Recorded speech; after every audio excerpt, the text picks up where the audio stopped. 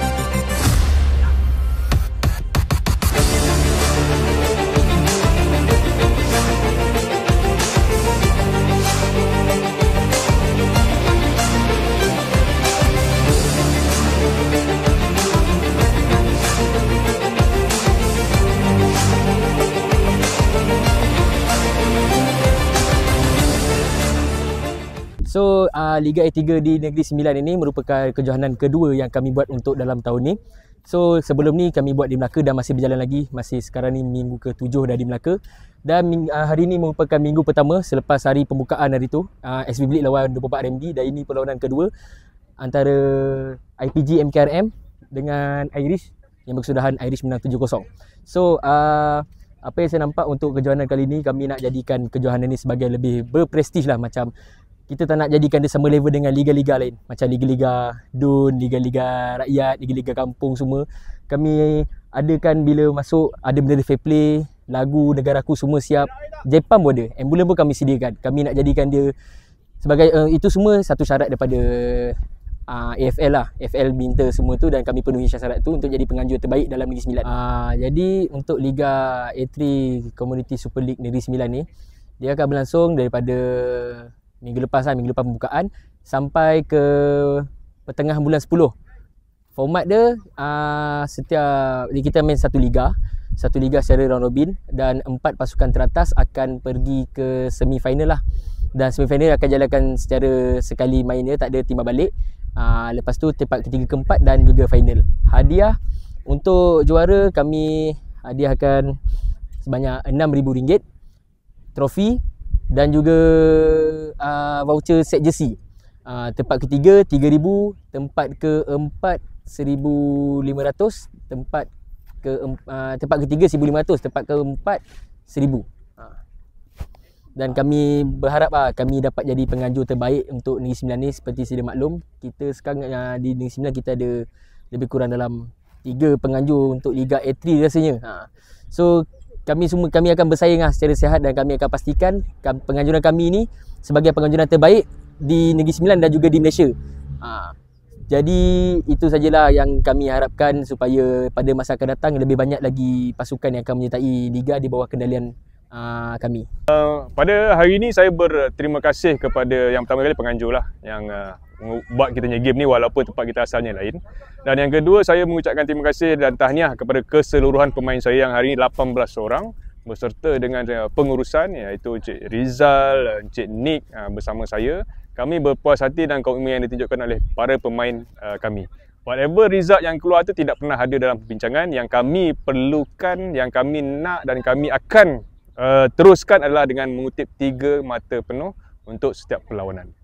Uh, yang pertama sekali disebabkan sukan ni kita main daripada kita kecil, daripada kita muda dan kita dah start benda ni pun dah lama. So setiap kali kita memasuki mana-mana pertandingan, memang dia punya objektif utama adalah untuk champion. Objektif utama.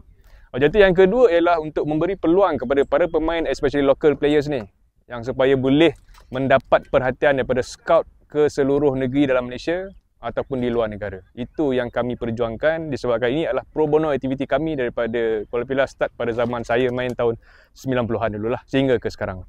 Ha, niat kami itu saja. Kami memang nak uh, menang champion dan setiap liga dan yang kedua kami nak memperkenalkan para pemain kami ni kepada mata-mata peminat-peminat bola sepak di Malaysia especially. Okey, baik. Inilah julung-julung kalinya kami uh, mengambil inisiatif untuk masuk liga. Dan uh, setelah saya balik ke sini dari Sabah, saya merupakan yang telah uh, buat pembangunan bola sepak Sabah Akademi. Jadi saya pindah dari sana ke sini dan saya mengambil inisiatif berbincang dengan ketua jabatan supaya mulakan tim ni. Jadi pemain kita ni semuanya adalah baru baby lah. Basic playing game je mereka boleh tahu and ball play semua ni dalam proses pengajaran.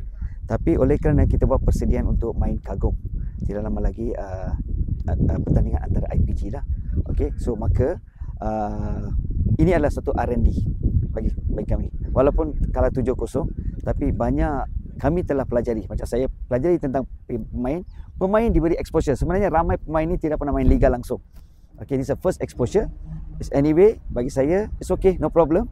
So saya minta mereka beri yang terbaik saja. Don't expect because kita faham pihak lawan ni sudah lama bermain bola. They all players all position are very good. Okay? So we learn by being being kalah pun tak apa kita belajar. Sebenarnya kita sedia maklum be realistic lah as a coach we must be very realistic as a new beast uh, new team yang tak ada uh, pengalaman uh, dalam liga ni.